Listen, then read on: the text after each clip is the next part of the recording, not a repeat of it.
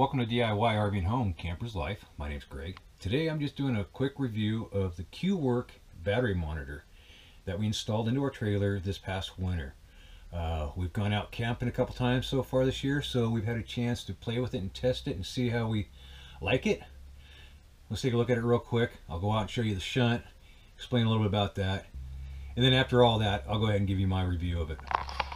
So currently, it's showing that we are uh, pulling in uh, just over a tenth of an amp of uh, solar, and that's because the battery is full. Let me bring you in. The battery is full. I just unplugged it really. So we've got amp hours. See how the battery is going to a float position. So I'm going to go ahead and kick on my Renogy uh, 2000 watt inverter. And that way we'll start seeing a draw. And as you noticed, as soon as I did that, we start seeing a pull. I'm going to go ahead and flip on. I'm sorry about the light. Uh, the light from the door is getting in the way, but so we're sitting about a half amp. Let's go ahead and just flip on some uh, different switches here. All right, so we're seeing how quick it is to uh, read the volt, the amps. And as you see, I was just shutting stuff down, so it's showing that. Let's go ahead and shut it off. And all of a sudden now we see a positive arrow going up. So we are now pulling in just over amp and a quarter. It's dropping because we're, again, like I say, we're at that 100% mark. Our voltage is 1365. Now if I was to just push and hold these two buttons, I can actually get this backlight to light up, but it kind of pulses as it's charging and kind of annoying so I just make sure I just leave it off.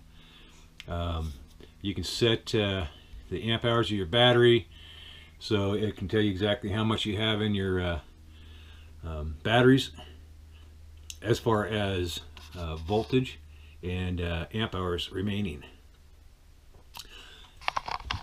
So let's run outside and we'll take a look at um, the shunt itself, where it is, and um, how I've got it installed. Okay, so inside of our compartment up front, I have a uh, wall here with a door on it, and this is where all of my equipment, electrical equipment that I upgraded is located at. Right back here where the light is, is the shunt. I'm going to drop the light a little bit.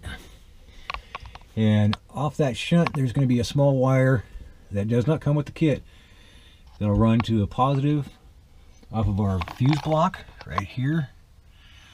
Um, and that'll allow uh, the shunt to communicate with the monitor, which is inside the trailer.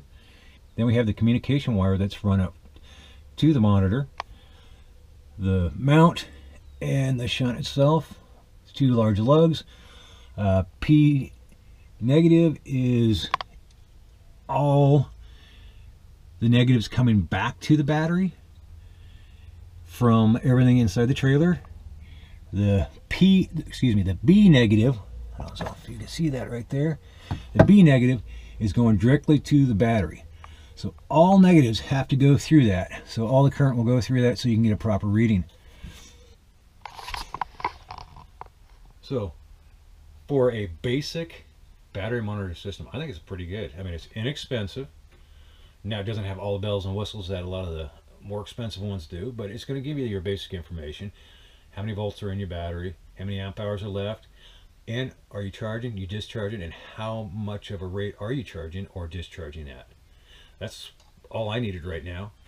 So, for me, I'm happy with the product, and I would recommend it out. If you like the video, please hit the like button, subscribe, and share. And until the next one, you guys happy camping.